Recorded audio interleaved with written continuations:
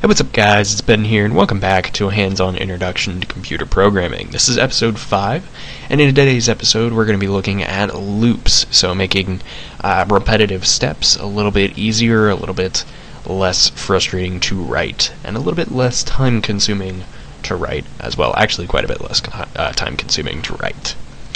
So, uh, in the last episode we talked about arrays, and how those work, and what those are, and how they're used, and those are kind of an important uh, part uh, to loops, so we're going to be using those uh, later on in this video.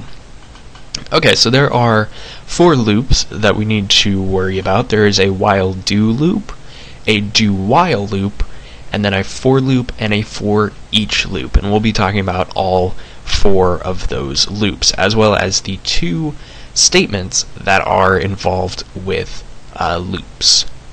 So the first type of loop that we're going to be looking at is the while do loop. Now the while do loop is also just called the while loop, and it does probably exactly what you would expect it to do.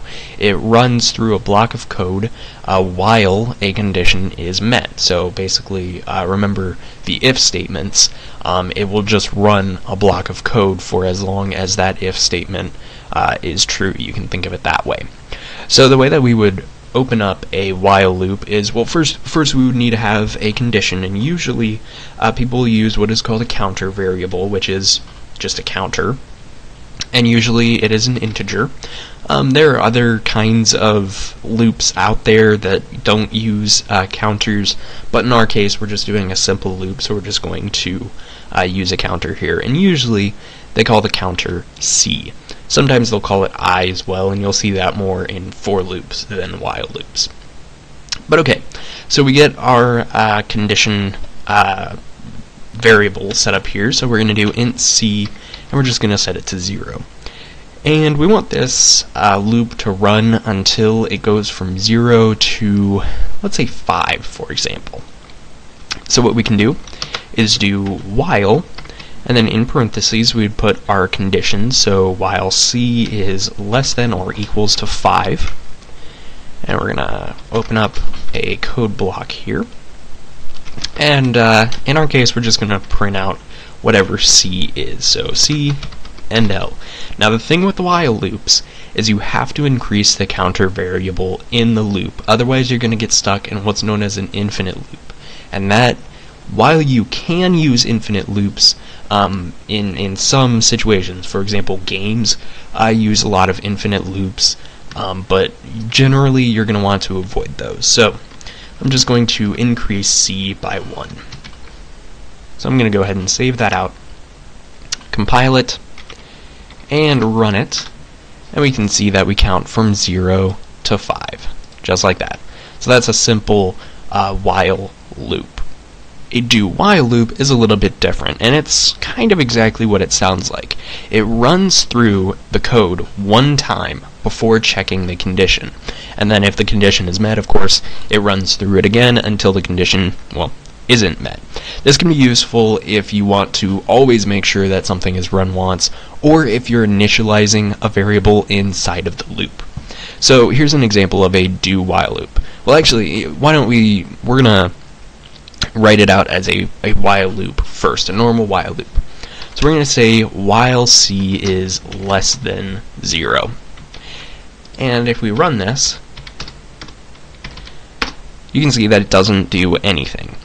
But if we convert this into a do while loop, so do, and then while, c is uh, less than 0, fix my spacing there, see how it's C.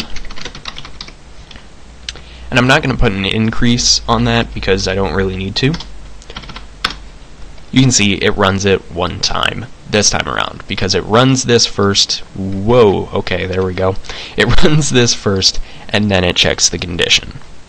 The next kind of loop is a for loop. Now I pulled our while loop back up here um, because it, it's a for loop is very similar to a while loop, but it just kind of condenses all of these steps onto one line, except for, of course, whatever we're doing inside of the loop. So the way that a for loop works is you would do, instead of while, you would do for. And then inside of the, or, uh, yeah, parentheses, you would first initialize your counter variable, so int c equals 0. You have to make sure that you are giving the value here. And then you would put a semicolon, and then you would have your condition, so c is less than 0, and then you would put whatever action you take at the end of the loop's run. So in this case, it's going to be C++. So now what we can do is just get rid of this, and we can get rid of this. Now I'm also going to change this condition to less than or equal to 5. Compile, and run that, and you can see it works just like our while loop, except everything is pretty much on one line. And our last kind of loop is a for each loop. Now a for each loop takes an array, so in this case I have an integer array called ints, and it has a couple of values here, 4863, and it will run through each value or each element in this array and work on that element um, as it goes through, and it will loop throughout any length of an array, so you don't have to worry about array length in that case. So to set up a for each loop, we would actually just use the for statement again, but this time in parentheses, what we're going to do is we're going to have a variable, we're going to initialize a variable that will be the placeholder for each element in our array, so we're going to say int, let's say i, for example, and then we're going to have a colon as opposed to a semicolon, and then the name of our array, so ints. And then in the body of our loop, uh, we're just going to do whatever we want with this uh, value. So in this case, we're going to reference it as the value i, or the variable i. So I'm just going to cout i. So if I compile and run that, you can see it prints out every element in our array. So 4, 8, 6, and 3. Now there are two statements that have to do with loops specifically. There's a break statement and there is a continue statement. So these two kind of do similar but not exactly the same thing. A break loop completely halts out of a loop, just breaks out of the loop and moves on, while a continue statement will break out of that current run of the loop and go back to the beginning and keep going in the loop until the loop is finished or until it finds a break statement. So we're going to be using that just in this for each loop here. So we're going to put a little if statement here. Let's say if uh, if i is, we're going to check and see if it's 8. And we're just going to do a break statement. And then we're going to put cout uh, i. And actually I'm going to change this to 6. There we go. And now if we run that, you can see that it prints out 4 and 8, but not 6 or 3, because it sees this if statement, sees that i is in fact 6, and breaks out of the loop. Now if I change this to a continue statement, what we'll see is that it prints 4 and 8 and 3, but not 6, because it sees this if statement, sees that i is 6, then sees the continue statement, and just cuts out of this run of the loop, goes back to the beginning, and in this case, it sees 3, this isn't true, so it just moves on to the cout statement. So that's what a break and continue statement do.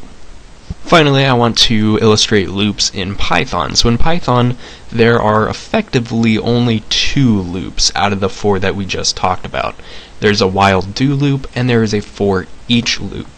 So you can kind of hack both of these into making a do while and a normal for loop, but uh, by default, all we have is a while do and a for each. So let's just use those.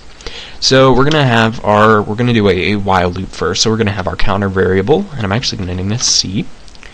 And then the syntax is very similar to C++, so it's going to be uh, while C is less than or equal to 5, we're going to print out C. Whoop. And of course you got to make sure that you don't get stuck with that infinite loop.